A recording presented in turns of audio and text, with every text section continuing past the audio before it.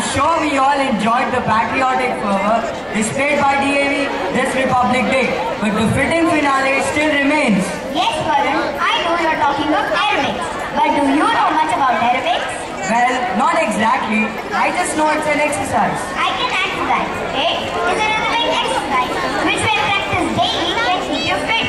The music that accompanies aerobics should be catchy so that the people get engrossed and involved in the physical act. Aerobics is taught in our school in the last period is a part of the activity. The swift movements of the students keep them agile for the rest of their day. The mental activity that the students undergo in their classes needs relaxation. Yes, and this relaxation is found in the aerobic activity.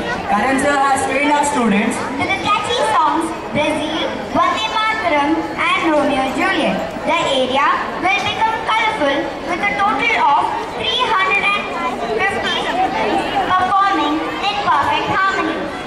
in mind the spirit of unity, oneness is clearly depicted in the formations of aerobics.